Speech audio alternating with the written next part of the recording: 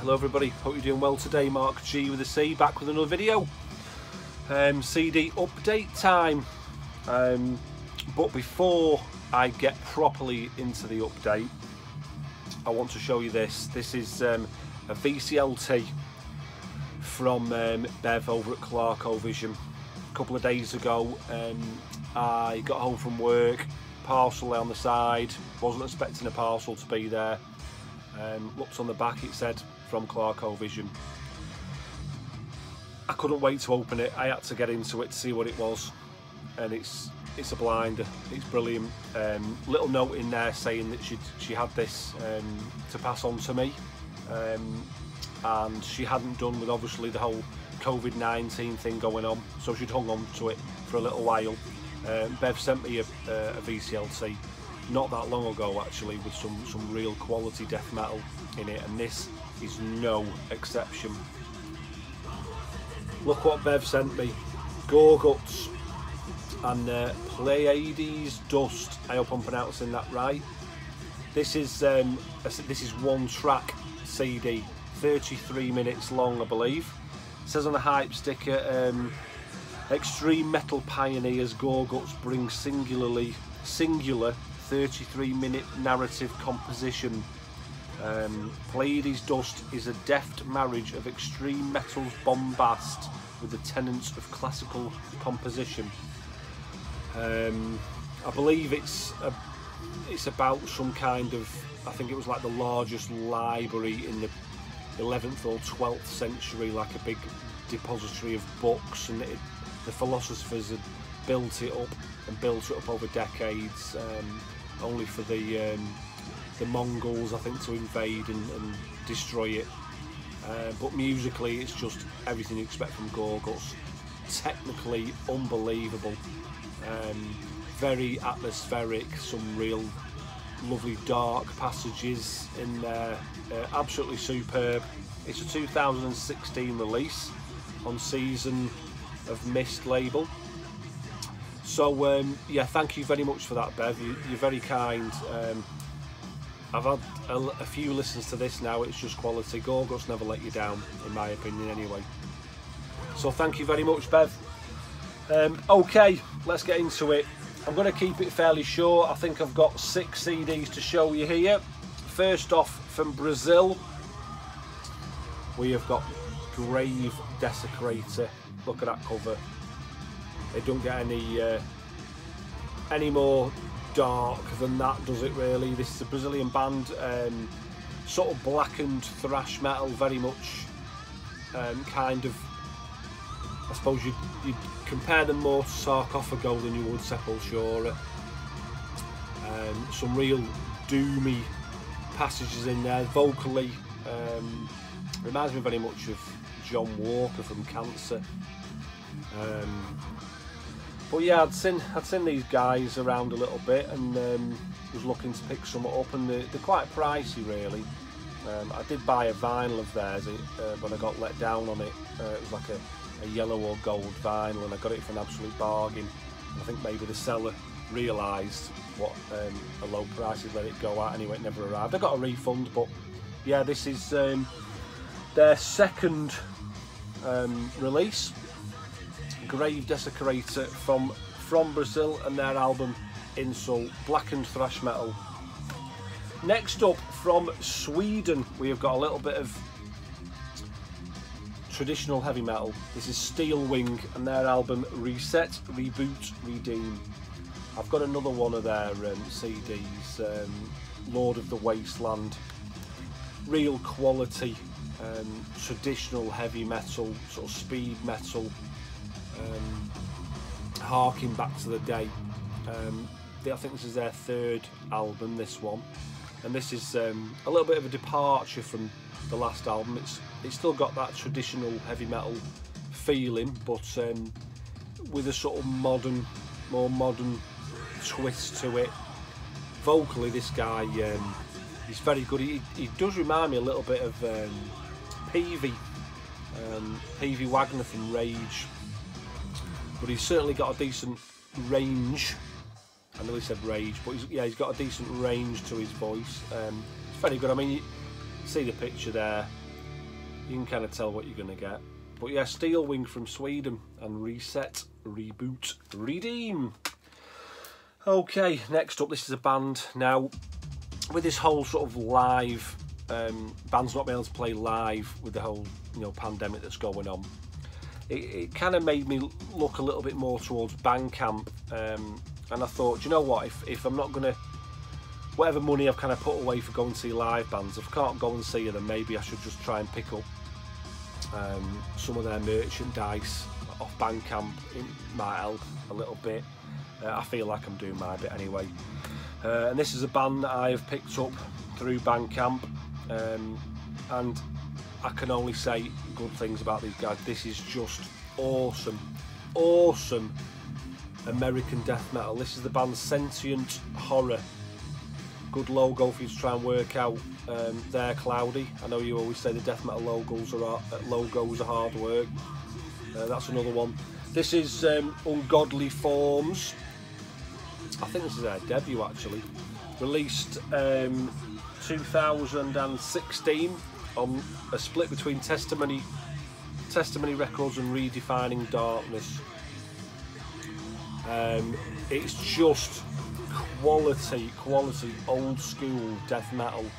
Um, with obviously they're a modern band, so they've got a certain certain modern edge to them. Uh, but it's more your your slow riff-based death metal. There's, there's, there's you know there's not too many blast beats in there. It's not brutal. It's real old school. Um, you know riff. The riff is the master. Brilliant vocals. Real, real growly. Um, you know, you can kind of make out a little bit of what he's saying, uh, which you know I don't mind. I, I, I, love it when you can't hear a fucking word they're saying, like John Tardy or whatever. I, am all for that. But um, yeah, real, real, real good band. This um, they've got a new album out. Well, they've got I think they've got an EP and two albums out. But if you if you love your old school death metal, please go and check these guys out because they're uh, they're worthy of um, anyone who's into the old school checking out. Sentient horror and ungodly forms, absolutely superb. In fact, I've just ordered the vinyl. They've just released. Um, thanks to Liam, actually, um, he's going to cost me a fortune. That guy, uh, Death Doom Metalhead, Doom Death Metalhead. Sorry if I'm getting that wrong. Death Doom Metalhead. I'm sure that's what it is. Um, yeah, he was telling me about them and said that they've, they're on blue vinyl. Um, so I was kind of umming and ahhing. And I thought, oh, and I've ended up buying it. But um, it's well worth it because it's it's a brilliant album, absolutely brilliant. Okay, next we have got um, from Finland. Um, again, old school death metal at its finest. Coffincraft and In Eerie Slumber. Um, HM2 Buzzsaw Swedish old school sound. Uh, it's on the Spanish Memento Mori um, label, which I have got a few releases on that, and they're always quality. They know what they're doing, these guys. But yeah, if you like um, old school Swedish death metal, it's it's more leaning towards the doomier side. Um, it's not there's not as many fast parts in there as some of the other bands, but um, yeah, I'd, I'd never heard of him, just one of those albums I came across. Like the look of it, I'm always interested in Memento Mori as a label, what they're putting out. But yeah, again, old school death metal, Swedish HM2 Buzzsaw, brilliance. Um, next up, we've got from um, Germany, superb band these. I've just managed to pick up this is the last one that I needed to pick up of their discography. They've only got three out but this is um, Slaughterday an abattoir. Um, if you're familiar with um, Autopsy you know they've got a song called Slaughterday. This band are Autopsy Worship Mental Funeral Severed Survival Acts of the Unspeakable that era uh, again, another great label, FDA Rekotz, German label. Um, 2018 released this. Six tracks. If you love all those Autopsy albums that I've mentioned, you're going to love this band. Filthy, doomy, horrible death metal. Perfect, just perfect. Um, great band. I picked up uh, their other albums, um, Nightmare Vortex and Laws of the Occult, and they're just just excellent. You know, they're not complete rip-offs. I would never say that about any band, um, really. But you know, the, the base in their their style around obviously the music they love. Um, but that Slaughterday Abattoir, superb, doomy, dirty death metal. And last but not least, and this is a bit of a grail for me, I showed in my last update, um, I think it was, that I picked up Dismember uh, Misanthropic, the little EP they released, which was a grail of mine. Well, I've managed to pick up the other Dismember EP that was a bit of a grail of mine, and that is um, Casket Garden. Swedish death metal. You all know Dismember. If you watch my channel, you all know who Dismember are. One of the Swedish Big Four. Just ace. What a band. They're playing um, next year at the Swedish Invasion, so playing in London, and, and I'm, I'm hoping I be able to get to that. With it being in London, it's a bit of a bastard because trying to find somewhere to stay in the tubes and all that, you know, it's hard work. But um, yeah, this is an EP. This was released in uh, 95. Um, three tracks. You know exactly what you're getting from Dismember. Perfect, perfect Swedish death metal, old school Swedish death metal. It's kind of it seems a bit weird calling Dismember old school Swedish death metal because, you know, I suppose that's where this sound comes from, bands like this, isn't it? So they are just Swedish death metal. That's how I uh, talked about him back in the day. But yeah, um, yeah, yeah, another um, grail of mine, Dismember Casket Garden, very happy to pick up that. Nuclear Blast, superb, superb.